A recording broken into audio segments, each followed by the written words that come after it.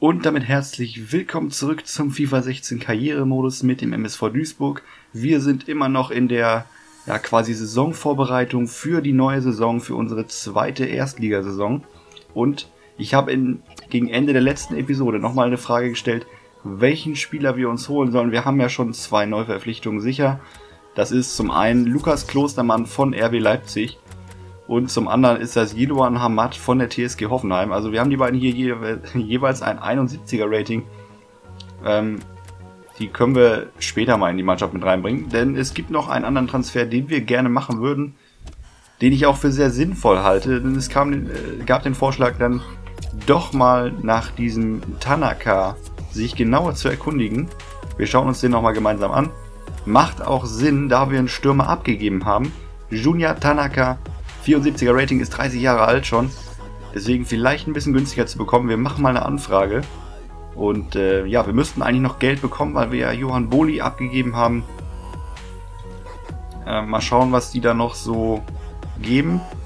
Beziehungsweise wie viel dann auf unser wirkliches Konto kommt. Also da sind ziemlich viele grüne Stats dabei. Das sieht alles ziemlich gut aus.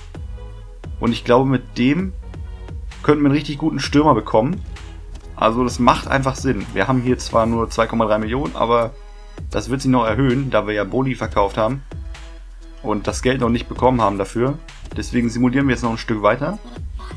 Ich weiß nicht, ob das noch was wird vor dem Bundesliga-Start gegen die Hertha. Das, wir, also das Spiel gehen wir heute auf jeden Fall an. Ist nur die Frage, ob wir das noch schaffen vorher. Ich glaube eher nicht. Kommt auch an, wie schnell die jetzt sind. 4,1 Millionen wollen sie haben. Das lassen wir mal noch drin. Erstmal trainieren. Und dann wollen wir uns auch mal gleich um die Aufstellung kümmern. Vincenzo, Vincenzo Grifo wollte schon sagen. Nein, ich weiß gar nicht mehr genau den Vornamen. Auf jeden Fall, Grifo erreicht eine 60. Ähm, einer unserer Jugendspieler. So. Dann ja, müssen wir eigentlich weiter simulieren. Wir haben unser Geld noch nicht bekommen, wir können noch kein Angebot machen, weil das lohnt nicht. Deswegen machen wir das vielleicht erst nach dem Spiel. So, Spieler verkauft, jetzt haben wir das Geld bekommen. Moment, stopp. So. Also, Geld bekommen, 1,3 Millionen aufgestockt. Die Freiburger holen sich Johann Boli. Ähm, das ist unwichtig. Pressekonferenz können wir noch machen. Gegen die Hertha geht es ja im Heimspiel immerhin das erste Spiel Heimspiel und wir loben mal unsere Mannschaft. So, jetzt können wir auch, so, hätte ich gleich da machen können. So, jetzt können wir gleich auch ein Angebot machen. Ähm, 4,1 Millionen werden wir natürlich nicht bieten, das ist ja völlig klar. Wir bieten so 2,8 vielleicht. 2,8 Millionen. Oder weniger? 2,5. Wir haben ja noch Zeit. Wir sind ja jetzt nicht so in der Phase, wo wir uns jetzt beeilen müssen. Weil das, was wir dann möglicherweise danach noch übrig haben, könnten wir für Transfers, äh, Quatsch, Transfers für Vertragsverlängerung und so weiter benutzen. Das ist ja auch nicht so schlecht. So. Dauert nicht mehr lange, dann ist das erste Spiel. Das wird nichts mehr vor dem Spiel. Inakzeptabel. 4,1 Millionen wollen sie haben. Kommen uns da also bisher noch nicht entgegen, aber wir können denen ja ein bisschen entgegenkommen. Wir sagen 2,9 Millionen Euro das wäre dann, glaube ich, unser teuerster Transfer. Oder? Ich muss mal kurz gucken, was wir für Lukas Klostermann bezahlt haben. Ich glaube, das könnte sogar gleich sein. Das möchte ich jetzt mal kurz nachschauen. Weil ich nehme das jetzt hier nicht am Stück auf, verständlicherweise. Transferverhandlungen. Erfolgreich haben wir einmal hier ähm, eine Million für Hamad und 2,9 für Lukas Klostermann. Ja. Also 2,9 Millionen ist bisher unser Top-Transfer. So, einen Tag simulieren wir noch vor. Da wird nichts Spannendes mehr passieren. Ein Vorschlagstrainer. So, äh, Kevin Stöger wollte reden. Vom bevorstehenden Match hängt in dieser Saison wirklich viel für uns ab. Im Moment bin ich richtig gut drauf und ich bin mir sicher, dass ich die Position von Engin in dieser Partie sehr viel besser ausfüllen könnte als er. Ja, bleib mal ruhig. Das kriegen wir schon alles hin. Normalerweise ist der Kollege Stöger ja auch gesetzt. Das war jetzt nur für die Vorbereitung. Für die, die vielleicht neu dazugekommen sind, hier könnt ihr euch gerne mal unseren Kader anschauen. Der ist etwas verändert im Vergleich zum Beginn. Also wir haben uns Stöger geholt, wir haben uns Marian Saar geholt. Ähm, Yannick Haberer ist zum Beispiel zum Verein gestoßen. Gianluca, Gianluca Gaudino ist dabei. Auf der Bank auch noch einige andere. Marimon Himmelmann ist zum Beispiel dabei. Und die angesprochenen Hamad und Klostermann sind auch da. Das heißt, wir haben nur vier Reservespieler. Was überhaupt kein Problem ist, weil wir ja nicht in drei Wettbewerben vertreten sind, sondern nur in zwei. So, Klostermann erstmal auf die Bank. Hamad würde ich sagen, wird spielen für Nico Klotz, der nicht mitfährt, oder ja quasi mitfährt. Also wir sind ja immer noch in Duisburg, aber ihr wisst ja, was ich meine. Ähm, Meißner mit Saar tauschen. Also wir werden jetzt mal das Bestmögliche aufstellen. Vielleicht werden wir Wolze mal irgendwann tauschen mit äh, Klostermann. Der auch auf der Linksverteidigerposition spielen kann. Steht hier nicht drin, aber wie gesagt, habe ich nachgelesen, kann er auch spielen. Chanduria leider immer noch verletzt, aber das dauert nicht so lange, also nicht so schlimm. Ähm, und ich würde sagen, wir beginnen das Ganze auch mal mit Victor Obina im Sturm. Das wurde sich auch gewünscht, dass der mal ein bisschen mehr spielt. Und da wir jetzt nur noch zwei Stürmer haben, sehe ich da kein Problem. Kann durchaus mal gemacht werden. Allerdings ist der Scheiterauer immer noch einer der besten im Kader und deswegen wird der auch sicherlich seine Einsatzzeiten bekommen. Wir schauen nochmal kurz auf die Tabelle. Ach so, es ist ja schon äh, nur noch die Sonntagsspiele sind zu spielen. Ja. Elfter Platz im Moment. Mal gucken, wo wir nach dem Spiel stehen. Gegen die Hertha. Ich weiß nicht mehr, wie die Spiele der letzten Saison ausgingen. Hm, das rote wäre, glaube ich, ganz gut. Ja, die anderen sind alle nicht so passend. Die Hertha zieht man das rote Trikot an. Schauer muss ja jetzt echt nicht sein. Also wollen wir mal ein bisschen schöneres Wetter zum Saisonauftakt haben hier. So, die Aufstellung ist ganz gut. Kevin Stöger hat schon eine 73 und Marian Saar hat schon eine 74. Also wir fangen das Spiel mal an. Heimo Wasserschneider ist der Schiedsrichter. Und wir werden sehen, wo wir schon stehen. Unser Kader ist noch nicht ganz komplett. Also es fehlt dann noch der eine Spieler, dieser Tanaka. Den würde ich gerne noch nach Duisburg holen. Ist nur die Frage, wie bereit ist der Champions League-Sieger Sporting Lissabon? Ja, das ist tatsächlich so der Champions League-Sieger Sporting Lissabon. Wie bereit sind sie da noch ein bisschen runterzugehen mit dem Preis? Und die Frage ist, wie viel möchte der Kollege verdienen? Das ist nämlich auch eine wichtige Frage, die wir uns stellen müssen. Denn wir haben nicht so viel Geld zur Verfügung. Das waren insgesamt 5 Millionen Startbudget, die wir diese Saison hatten. Haben wir noch ein bisschen durch das Turnier, das Vorbereitungsturnier dazu bekommen. Aber das ist natürlich nicht viel. Da müssen wir natürlich genau schauen, wie viel Geld wir für jeden Spieler ausgeben. Und ich glaube, mit den bisherigen Transfers Lukas Klostermann und Jedovan Howard haben wir gute Transfers getätigt. Und deswegen schauen wir uns unsere Aufstellung auch nochmal an. Jilovan Hamad mit seinem Pflichtspieldebüt für den MSV Duisburg. Und ansonsten spielt, glaube ich, das beste Team, was der MSV im Moment hier aufzubieten hat. Vielleicht noch Scheitauer aber ich glaube, die beiden tun sich da nicht viel. das ist wirklich eine Frage der Form. Also letzte Saison haben wir ein bisschen mehr Scheithauer spielen lassen, weil er einfach mehr Tore geschossen hat. Und das ist die Aufstellung der Hertha. Hat sich auch nicht so viel verändert, muss man ehrlich sagen. Also da ist unsere Mannschaft schon stark verändert gegen. Also ich wollte bewusst auch letzte Saison nicht so viel verändern, weil die Aufstiegsmannschaft doch eher auch in der Bundesliga sich beweisen sollte. Aber jetzt mittlerweile, wenn man das mal mit der Anfangsmannschaft vergleicht, die wir hatten, ist schon, glaube ich, eine große Änderung da. Aber es ist ja auch völlig normal. So, Victor Obinna ist bereit. Und dann können wir, glaube ich, auch anfangen. Jo, so ist es jetzt soweit. Erste Halbzeit der neuen Saison. Hertha zu Gast in Duisburg, dem nicht mehr Aufsteiger. Wir sind ja jetzt glücklicherweise schon zum zweiten Mal in der Bundesliga dabei. Gaudino. Obina, Obina mit der Riesenchance direkt nach drei Minuten für Duisburg. Ja, Handspiel war das natürlich nicht von Brooks, äh, obwohl, naja, also vielleicht schon. Obina mit der Ecke, das müssen wir aber wohl auch nochmal ändern. Oh, die Ecke war nicht so toll. Aber immerhin bleiben wir am Ball. Hamad. Oh, da liegt ein Berliner Spieler am Boden. Valentin Stocker dürfte das sein. Habe ich nicht gesehen. Und da muss sofort gewechselt werden. Schade für Valentin Stocker. Fünf Minuten sind vorbei und schon muss er ausgewechselt werden. Wladimir Darida kommt in die Partie. Hoffentlich geben sie uns jetzt wenigstens den Ball wieder. Jo. Also guter Beginn für uns.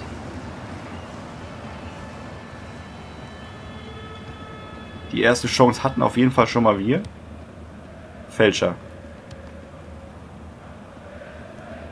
Fälscher, das macht er nicht so gut. Der Ball bleibt da am Gegner hängen, aber er geht nicht nach. Marian Saar, der hat letzte Saison gut gespielt, hat sich dann verletzt. Und da ist Ratajczak. Aber ich glaube, das war abseits, genau. Schielwer dürfte es gewesen sein. Ja, eindeutig. Obwohl hier unten stand auch noch ein Verteidiger von uns, also so eindeutig war es doch nicht.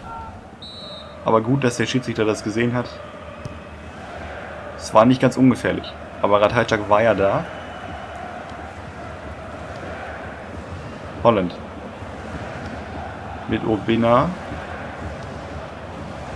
Ah, schade. Der Pass war gar nicht mal so schlecht eigentlich. Obina. Ah, die Ballannahme. Die hat nicht ganz gepasst. Und so war der Ball dann relativ schnell weg. Pekarik. Und die Frage ist natürlich, was setzen wir uns für ein Saisonziel für diese Saison? Ich glaube nicht, dass ich jetzt so einfach mit einem 15. Platz wieder zufrieden wäre. Das ist natürlich für die erste Saison ganz schön. Und es war auch spannend bis zum Ende hin. Das kann man wirklich nicht anders sagen. Aber es dürfte doch jetzt gerne ein bisschen mehr sein. Und hier seht ihr es nochmal, Neymar wechselt zum FC Bayern, 94 Millionen. Wir haben letzte Saison beide Spiele gegen den FC Bayern verloren. Und durch diesen Transfer glaube ich nicht, dass unsere Chancen steigen. Fälscher. Hamad. Der die Rücknummer 22 übrigens hat. Wie gesagt, irgendwelche Vorschläge könnte ich gerne dann mal ändern. Ansonsten ist es auch, glaube ich, nicht wichtig. 22 ist ja jetzt nicht so schlecht. Wo bin er? Holland. Und er ist noch drin. Der ist ja noch im Feld drin. Ich dachte, der wäre jetzt zur Ecke raus. Schielbrett. Aber wir spielen offensiv ganz gut. Also wer letzte Saison ein bisschen mit dabei war, der hat ja durchaus gesehen, dass wir ja quasi gegen Ende der Saison auch offensiv immer schwächer wurden, auch die Defensive nicht mehr so stabil stand. Da gab es zum Beispiel auch mal ein 3 zu 0, eine 3 zu 0 Niederlage hier im Stadion gegen den VfL Wolfsburg. Danach direkt eine 3-0 Klatsche in Gladbach. Wolfsburg führt 2 zu 0 gegen Bochum, den Aufsteiger. Na, jetzt spielt die Hertha hier ein bisschen mehr auf Ballbesitz, bringt den aber nicht viel, weil wir sind wieder am Ball. Oh, Hamad kommt doch noch dran. Ich dachte, das wird nichts mehr. Komm schon, Hamad kann den noch kriegen und er holt ihn sich noch. Ja, dann stimmt der Pass nicht.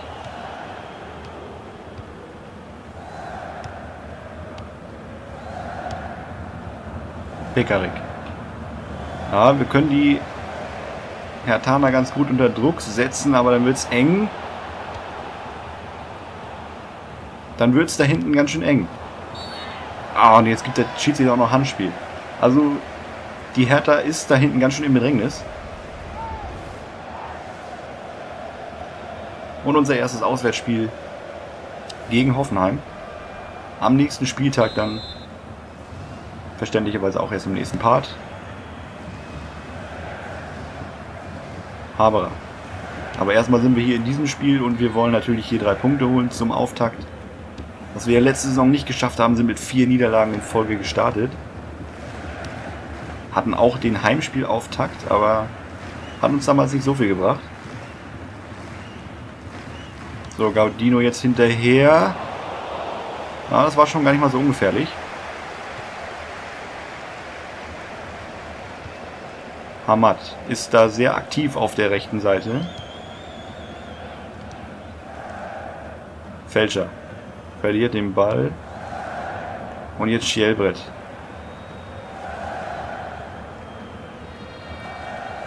Habra geht dran und Pekarik kann sich da gerade noch befreien. Und den haben wir jetzt aber, Baumheuer. Unser Innenverteidiger mit der Balleroberung. Holland.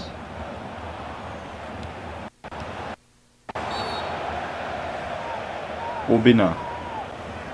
Wird da irgendwie gefault. Ich habe es nicht genau gesehen. Jetzt gibt es dann vielleicht mal die Chance per Freistoß hier was zu machen. Obinna nimmt sich den Ball. Ich weiß nicht, ob er wirklich tatsächlich der beste Freistoßschütze ist. Mal schauen, was wir da so haben. Ja, Obinna hat auch gar nicht mal so schlechte Werte. Er ist, glaube ich, der Beste. Dann nehmen wir auf jeden Fall Obinna. Hm, den werde ich mal versuchen, da irgendwie gewaltsam ins Eck zu schießen. Hat nicht ganz funktioniert. Ich glaube, wir haben irgendwie erst ein oder zwei Freistoßtore in der ganzen Saison, äh, in der ganzen Karriere bisher geschossen. Also, wenn es irgendwo noch Bedarf zum Üben gibt, dann glaube ich da. Allerdings wird das ja sowieso im neuen FIFA ganz anders sein, weil die Standards ja alle überarbeitet wurden. Meine ich jedenfalls. Ob das jetzt beim Freistoß auch genauso ist, weiß ich nicht genau. Ich habe es ja selber noch nicht gespielt, außer die Demo. So, Halbzeit hier in Duisburg 0-0. Können wir eigentlich, ja, können wir zufrieden sein. Also, ich glaube, dass die Hertha etwas glücklicher darüber ist, dass es noch 0-0 steht. Wir hatten die größere Chance. Und zwar nach drei Minuten direkt. Wolfsburg gewinnt, äh, Quatsch, gewinnt, steht zur Halbzeit 2-0 gegen Bochum. Hm, wir bleiben erstmal so. Ich schaue mir nochmal kurz die Statistik an. 57% Ballbesitz für die Hertha, aber wir hatten deutlich mehr Zug zum Tor. Das kennen wir ja von letzter Saison. Also die Spielart muss sich nicht prinzipiell verändern. Wir sollten nur erfolgreicher spielen als letzte Saison. Wenn die Gegner 60% Ballbesitz haben wollen, dann sollen sie es gerne haben. Solange wir ein Tor mehr schießen, stört mich das überhaupt nicht. Zumal sowieso alle Gegner hier im Karrieremodus auf Ballbesitz spielen. Was ist denn das für ein Fehler von Ratajczak? Den muss er haben. Das ist der ebenfalls der erste Eindruck, den ich hier habe. Den muss Ratajczak einfach haben. Klar, einfacher Ballverlust, aber dann, was ist denn das bitte? Patzer von Ratajczak, also den muss er, den muss er so einfach aufnehmen. Da steht er viel zu weit vorm Kasten.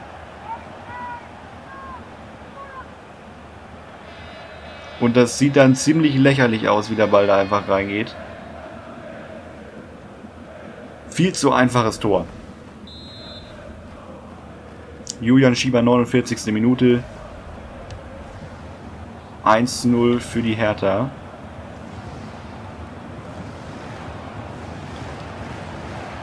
Und da ist gleich die Chance auf der anderen Seite Pfosten. James Holland an den Pfosten. Ich stelle mal auf Offensiv. Da wäre sie da gewesen. Die Möglichkeit zum Ausgleich. Direkt die Antwort auf diese Hertha, auf die Führung der Hertha.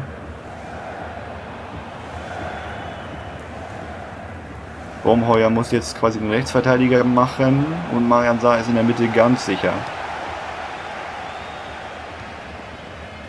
Gaudino. Außen natürlich mit Ahmad.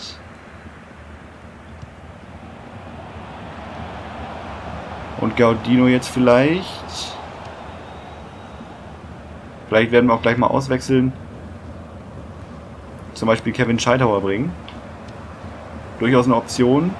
Der ist noch drin, Julian Schieber deutlich drin.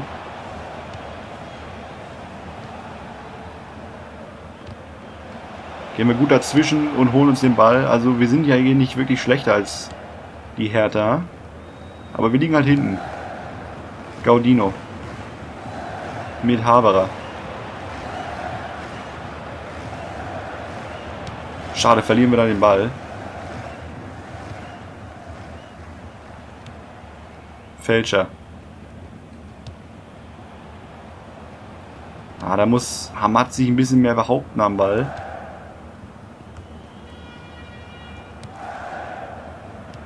Plattenhardt. Ben hat Tira gegen Bomheuer. Und das ist ein Foul. Okay, das nutzen wir mal, um auszuwechseln. Obina Scheidhauer. Ähm, was können wir noch machen? Vielleicht Wolze mal mit Klostermann, dass wir den Jungen mal reinbringen. Und vielleicht bringen wir auch mal... Ja, für rechts haben wir ja eigentlich keinen. Deswegen bringen wir mal, glaube ich, Slatko Janic für Yannick Haberer.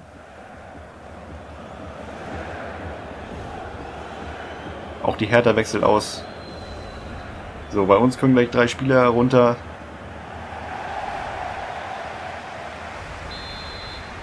Und jetzt gibt es den Freistoß für die Hertha. So, jetzt gibt es vielleicht sogar schon die erste Chance. Ja, Gaudino wird da sogar ein bisschen gehalten, finde ich. Also durchaus schon abzupfeifen.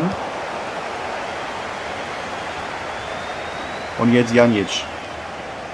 Ah, kommt da noch ein Fuß dazwischen von der Hertha.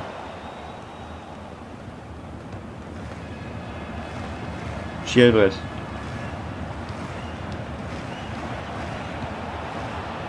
Schieber. Ungefährlich. So, ich werde jetzt gleich mal auf sehr offensiv stellen. Ist, glaube ich, an der Zeit ein bisschen mehr zu riskieren. Und Rolf Felscher. Einer der wenigen, die seit Beginn an mit im Kader sind. Gaudino. Janic. Mit Stöger. Das klappt einfach nicht. Können wir ihn noch unter Druck setzen irgendwie? Ah, die wissen nicht ganz wohin mit dem Ball. Aber spielen es doch relativ souverän dann raus.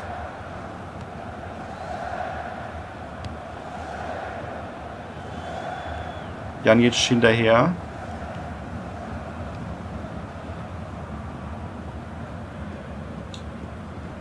Und jetzt Darida. Sollten wir tatsächlich durch dieses unglückliche Tor verlieren.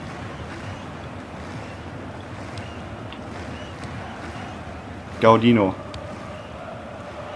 Stöger. Das gibt's doch nicht. Nochmal Gaudino. Mit dem Fehlpass. Ich stelle auf totalen Angriff.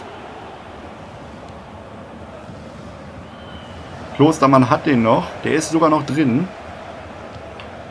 Und es gibt nochmal einen Einwurf für uns. Auswechslung Schieber geht raus. Hat sein Tor gemacht.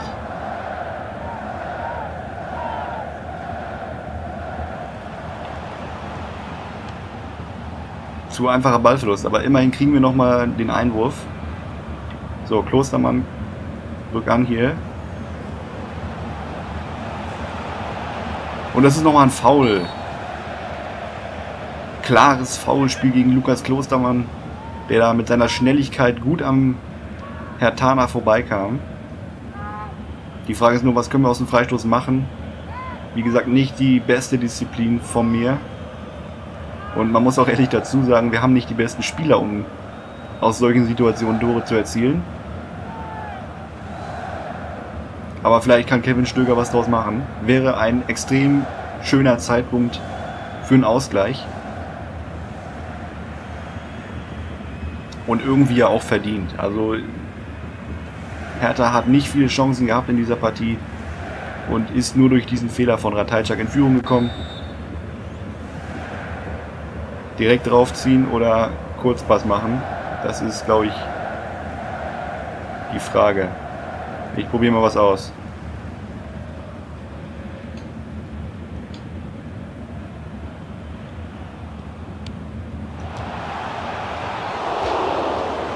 Hat nicht funktioniert. Gibt noch nicht mal eine Ecke. War auch nicht die richtige Anspielstation, das war, glaube ich, Meißner. Also unser Innenverteidiger. Einwurf für Hertha. Zwei Minuten gibt es Nachspielzeit. Pekarik. Ginczek kann sich da durchsetzen. Und will gar nicht mehr in Richtung Tor. Oh, was mache ich denn da? Und das da, das, das muss jetzt gewesen sein.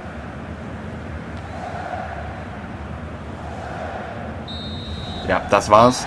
Also wir verlieren das Spiel mit 1 zu 0 und ich möchte mal sagen, Ratajczak hat hier einen sehr, sehr großen Anteil daran, dass wir das Spiel verlieren. Das darf nun mal nicht passieren. Also das ist man nicht von Ratajczak gewohnt, dass er solche Fehler macht. Denn das war wirklich ein ganz kurioses Tor. Und die Chancen hatten wir ja, um auch mal gefährlich zu werden. Aber gut, wir verlieren das Spiel. Wolfsburg gewinnt 4 zu 0 gegen Bochum. Also letzter sind wir schon mal nicht. Das ist eine, eine Niederlage, das wird nicht die letzte gewesen sein. So, Stöger bedankt sich. Wir trainieren nochmal. Und dann simulieren wir noch bis zum nächsten Spiel vor. Und schauen mal, ob da noch was Transfertechnisches jetzt noch passiert. Wenn nicht, dann kann es sein, dass es im nächsten Part der Fall ist. Spätestens aber, glaube ich, vor dem dritten oder vierten, ich weiß gar nicht, ähm, Spiel. Irgendwann ist ja dann der Transfermarkt geschlossen. Abgelehnt. So, erstmal Pressekonferenz. Pass auf, wir werden mal was über Ratajczak sagen. Den müssen wir mal motivieren. So, die haben das Transferangebot abgelehnt. Der hat einen Marktwert von 3,2 Millionen. Soll heißen, bieten wir 3, sagen wir mal 3 Millionen. 3 Millionen wäre der teuerste Transfer. Aber der ist schon echt nicht schlecht. Also wenn wir uns mal die genauen Werte bei jedem Spieler äh, bei dem Spieler anschauen, dann haben wir da schon echt einen guten, wenn wir ihn kriegen. Ich glaube aber nicht, dass das jetzt noch was wird. Aber jetzt immerhin nehmen sie es an. Also damit können wir ja arbeiten. So, dann werden wir auch gleich mal ein Angebot für ihn machen. Noch in diesem Part. Oh, da müssen wir noch ein bisschen was rumschieben, obwohl das müsste eigentlich auch so funktionieren. Ähm, wichtiger Stammspieler. Ja, es soll automatisch angepasst werden. 35.000, das wäre auch unser bestbezahlter Spieler. Nur mal so als Info.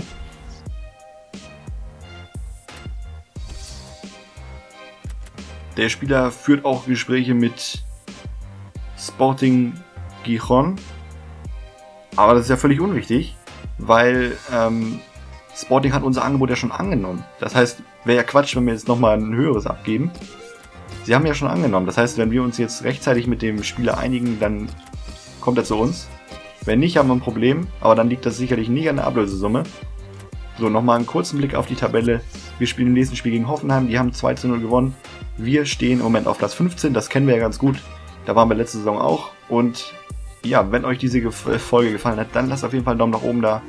Auch ein Abo würde ich mich sehr darüber freuen. Und wir sehen uns dann in der nächsten Folge gegen die TSG Hoffenheim und vielleicht mit dem Transfer von Tanaka. Also bis dann, ciao.